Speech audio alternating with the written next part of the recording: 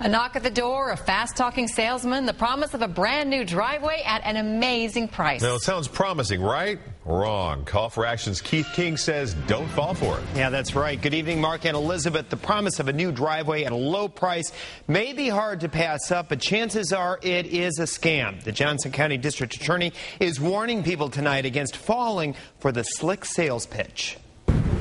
An impressive looking new driveway, one that comes at a steep price. This summer, we told you what happened to Kim Lumen of Atchison. A door to door asphalt salesman made her an offer to repave her driveway, but the final bill was a lot higher. I told my husband, yeah, we could do it for around two or three. That'd be great because, you know, we could do that. We could afford that. But when it came into 9000 I about had a heart attack. The Johnson County District Attorney says his office recently received a complaint similar to what happened to Lumen. We know the plates were from Tennessee Tennessee, um, and it fits the profile of these travelers who go across the country um, targeting elderly individuals. So, what can you do to avoid the driveway ripoff scam? Here are two simple tips from the DA. One, make sure the company you hire has an actual physical address.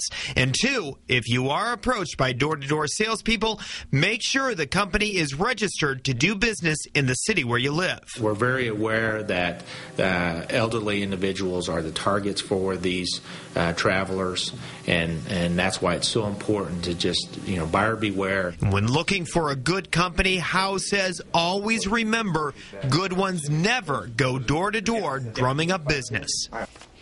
Now, these are not easy cases to go after, but Steve Howe says that he has filed criminal charges in the past where the victim has been coerced or intimidated into writing a company a check for the payment.